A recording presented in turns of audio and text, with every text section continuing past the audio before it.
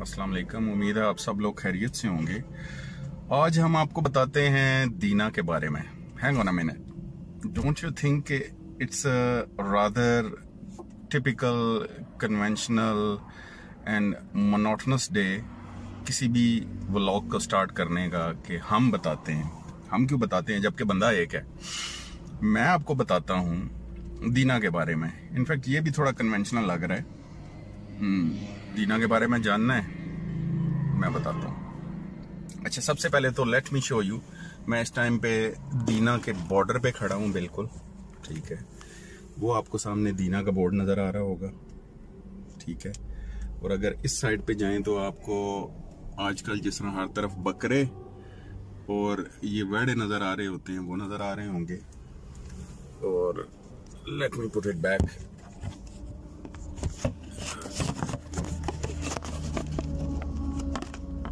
there you go. Okay. अच्छा दीना basically सबसे पहले तो ये कि मैंने काफ़ी सारी, मैं सर्च कर रहा था यूट्यूब वीडियोस काफ़ी सारी मैंने यूट्यूब वीडियोस देखी हैं कि जिसमें दीना के बाज़ारों में फिर के बाइक पे काफ़ी सारे लोग वीडियोस बना रहे थे। काफ़ी कुछ दीना के बारे में उसमें दिखाया गया लेकिन मोस्टली बाज़ार जिसमें सर फहरस्त एक कॉमन चीज़ अगर मैं हर वीडियो में से उठाऊं तो वो आ, फैसल के दही बल्ले शानदार स्वीट हाउस और कुछ और चीज़ें भी थी। I think it was a wonderful effort लेकिन मैंने किसी भी uh, वीडियो में मुझे दीना की हिस्ट्री के बारे में पता नहीं चल सका मैं जान नहीं पाया। तो थोड़ा सा दीना के बारे में बताना चाहूँगा अच्छा दीना जो बेसिकली है उसका थोड़े थोड़ा बहुत अगर मैं वेयर अबाउट्स बताऊँ थोड़ी बहुत हिस्ट्री अगर बताऊँ तो Dina is about 200 kilometre north west from Lahore और 100 kilometre south east from Islamabad and basically ये जंक्शन के ऊपर है uh, इसको गेट uh, ऑफ़ कश्मीर भी कहा जाता है। द रीज़न इज़ कि यहाँ से फिर आपको रास्ता मिलता है आ, मंगला का and then all the way to Mirpur Dina basically Dina की हिस्ट्री जो ये है कि जैसे हमें पता है कि Punjab in particular is full of जो saints and sufis tombs and shrines तो एक बुज़ुर्ग थे बाबा दीना शहीद के नाम से, जिनका मज़ार जो है वो दीना डोमेली महल्ले में है, वो मज़ार भी मैं, हम कोशिश करेंगे कि वहाँ पे जा सकें। तो ये बेसिकली जो ये थोड़ी सी हिस्ट्री है, और दीना का अगर देखा जाए तो दीना में इंडस्ट्री ओके मार्बल की इंडस्ट्री है आयरन की इंडस्ट्री है वुड की इंडस्ट्री है, और इसके अलावा दीना में जो मेन सोर्स ऑफ़ इनकम है वो बेसिकली है रेमिटेंसेस फ्रॉम अब्रॉड क्योंकि they are like lot of people living abroad mainly UK में और गल्फ में हैं. Uh, और इसके अलावा जो है वो uh, उसके बाद अगर देखा जाए तो हाँ बहुत से इसके दीना के रेजिडेंट्स हैं वो सर्विसेज़ दे रहे हैं पाकिस्तान आर्मी को क्योंकि जिस तरह फ़ेमस है ये सारी पट्टी चकवाल देख लें जेलम देख लें दीना देख लें तो काफ़ी सारे आर्मी के अंदर काफ़ी सारे अफराद हैं तहसील दीना के भी।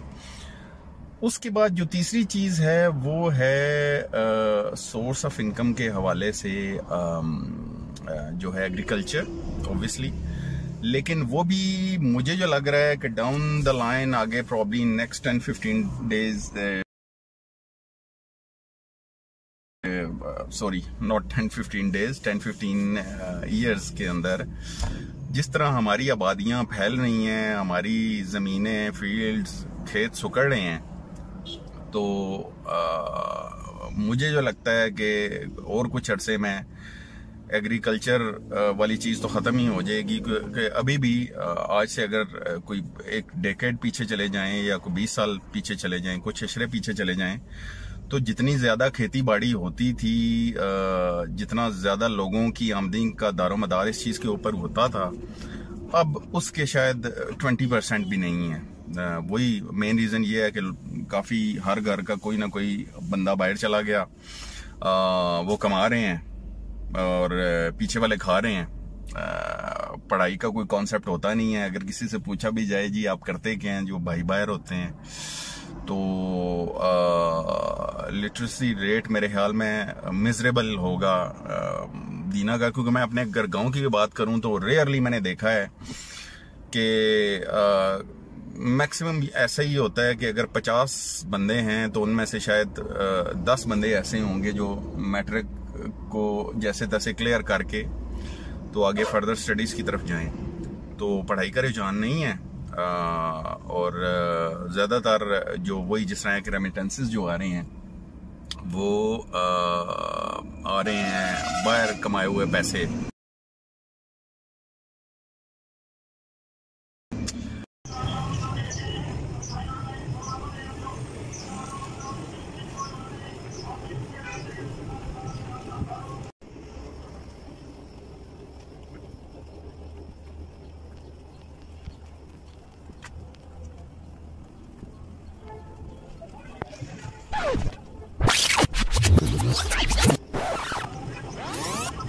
माजरत आप लोग दरबार के पास पहुँच गए थे। आप लोगों को मैंने दोबारा बुलाया। एक बात बतानी ज़रूरी थी कि दरबार को आ, मैं पहली दफ़ा गया दरबार में छोटी सी वीडियो बनाने के लिए इंट्रोडक्टरी लेकिन वहाँ पे जो सीन्स थे वो अभी आपको दिखाते हैं।